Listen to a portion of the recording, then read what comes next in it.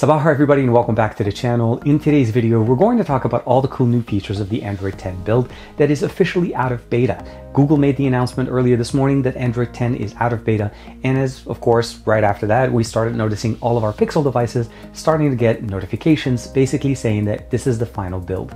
Now, I was running the Beta 6 on my Pixel 3a XL, so my update was only 44 megabytes and it is finally installed and I restarted my device. So let me share with you guys all of the cool new features that we now have on Android 10 on our Pixel devices and hopefully very soon on one of your devices if you're not running Pixel devices currently. This is TK, let's check it out.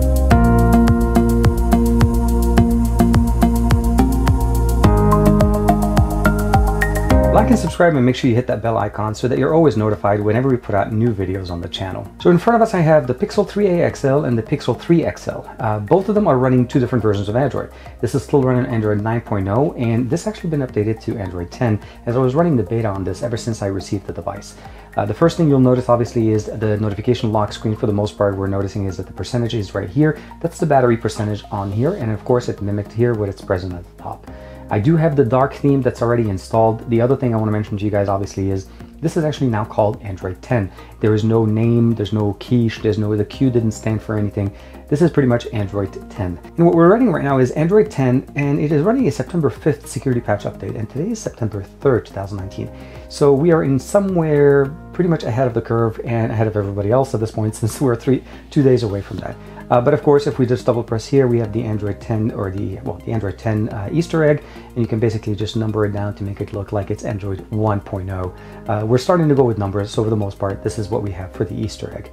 Uh, it's very exciting.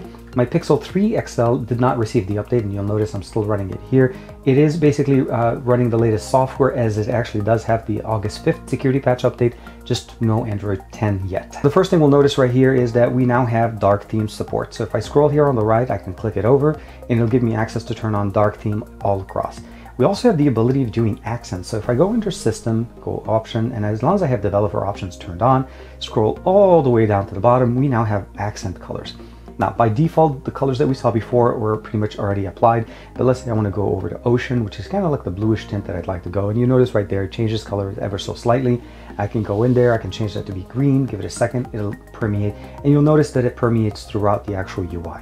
If you leave it by default, it'll basically turn on the more of a, a bluish tan color, and that's something that you can definitely customize and of course change as, as you like. Now the next thing we definitely now have is the ability of turning on the chat bubbles available for all applications. Uh, the main thing you want to do is obviously make sure you turn that on within the developer option, as by default it's turned off. So there's a couple new features there on top of the fact that if you want to speed up animation, that feature is still in here of course, as well as USB debugging. And the next feature that I really, really like is the ability of actually using, so normally if we're listening to music, we'll say go ahead and turn on music here and you want to be able to listen to your song, everything works normally. But now in Android 10, we have the ability of actually scrubbing through liking and disliking, of course, as well as going to skip forward and back. So pretty much all of the controls that we normally have within our application.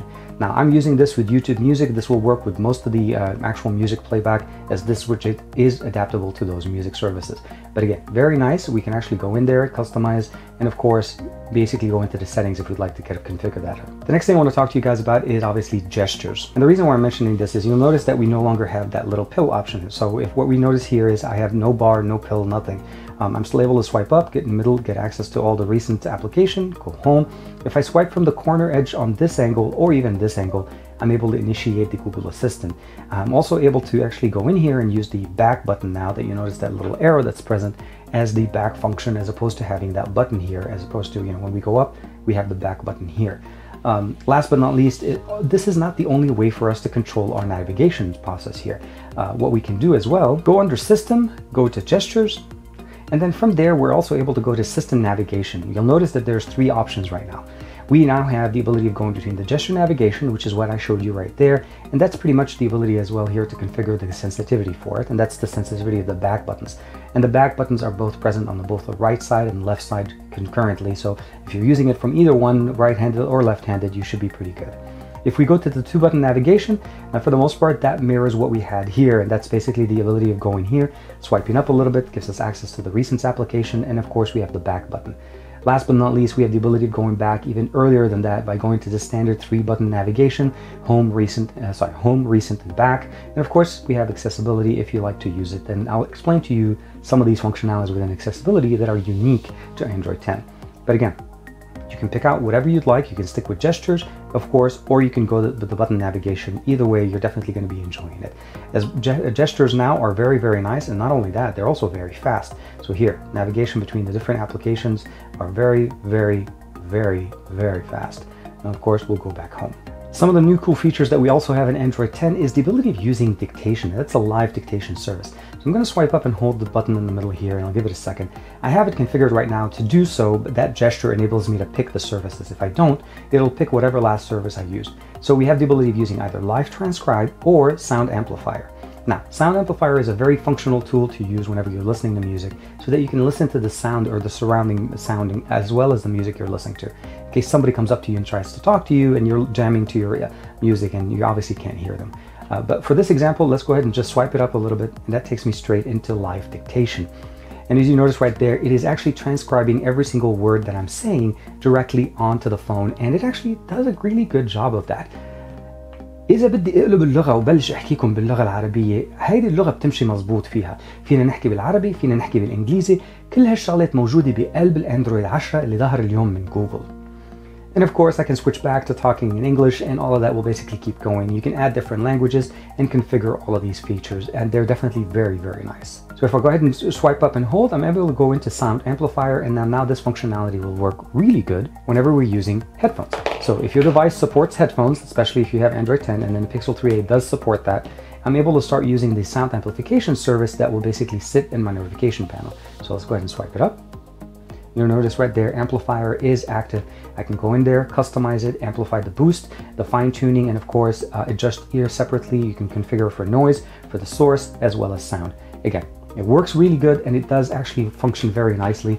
And you can customize this gesture to work whichever way you want. If you swipe up and hold, you can pick between the two. And now by default, every time I swipe up in the middle, it takes me into the service itself. Very nice, very easy to use. Now the next feature that came out here is actually very, very nice, and that's the ability of being able to focus on things specifically on your device. So an example, we'll go in here, we we are gonna go down to digital well-being. And within the digital well-being, you'll notice that there's a new option called focus mode. And this is, it gives us the ability of basically stopping notification, almost stopping the applications from running in the background and providing us any kind of interruption whenever we're trying to be more productive in doing one th single thing on our device. An example here, I can actually select this so that it basically turns on and it basically blocks Instagram for a certain amount of time, photos, Google's uh, application, any other notification that I have, or any other application on my device. If you don't want it to be part of the list, uncheck it, but once you have it on, it'll give you the ability of focusing on whatever you're doing without getting notification from chat messages, uh, notification from Instagram, Facebook, all of that, and it allows you to basically just do all the work that you need to do specifically and directly. And of course, we do have access to all the information as to how we use the rest of our device within the standard new, well, digital well-being. Now, one of the other cool features that they talked about is the ability of using Family Link. Now, for Family Link, you do need to download the application on both devices, so the parent device and the child's device. And the other thing you want to be aware of, obviously, that on top of the fact that you can manage this device, limit usability, as well as what applications are there, also, you have to make sure that there is only one account logged in on this and it is part of the family group. So you have to create a family group directly within your Google account as well as the ability basically managing this device. Uh, both of these features are available and you can download them. Now as you notice this is running Android 9.0 so I can definitely manage an account that's on an Android 9.0 device. Again, just only one account can be logged in on this device. One of the other cool features that they also have here is the ability of turning on the service for caption preferences, and that's the live caption transcribing uh, service that they have.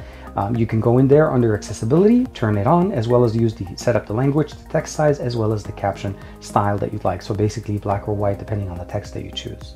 And one of the more simple things that we've basically been using for quite some time is that's the ability of taking screenshots. So at this point, you notice right there, normally what we're used to do is using the volume and the power, and that used to give us screenshots, and that doesn't work anymore. So if I press and hold the power button, screenshot is present there. It's gonna grab the screenshot straight from here, and then of course, give it a second for it to finish saving the screenshot. Once it is done, we're able to actually share it or straight up edit it directly within, and then of course, be able to share it at that point. And you'll notice right there, here's the image. I can actually put some notes, I can point some direction, check out the temperature. It is very hot today. And of course, share it from there and it'll share it as whatever form of sharing option that I'd like throughout my options that I have available on my phone. So for the most part, Pixel devices will be receiving this update much, much faster than most devices on the market. And again, that's part of the appeal of Pixel devices. So the Pixel 3a XL, the Pixel 3, any Pixel device that was part of the beta or was capable of receiving the beta should start receiving this update uh, actually starting today. Um, unfortunately for me, for some reason, my Pixel 3 XL did not receive the update, and I keep trying ever since they made the announcement this morning. My Pixel 3, 3a XL did receive it as it was part of the beta. I was running beta 6, the latest beta that they had a couple weeks ago, and of course the update was about like 44 megabytes, so it was an easy install, very simple, very quick. Um, I like how it works, and I do want to mention that the smoothness and the functionalities of all the things that I showed you today will be available on the Pixel 3a XL or the, P the, the Pixel 3 XL, uh, and it will run much faster as that one has a much faster and much stronger processor than the Pixel 3a XL. The Pixel 3a XL is a budget device around 400, 450 bucks, so just keep in mind the processor there is not as fast but we got all the same features, the camera applications, the functionalities. I even shared a picture today on my Instagram showing a picture that I took while I was running the beta as, again, the cameras on these devices are absolutely fantastic. Um, like and subscribe as usual. Thank you very much for the support, and we'll see you guys in the next video.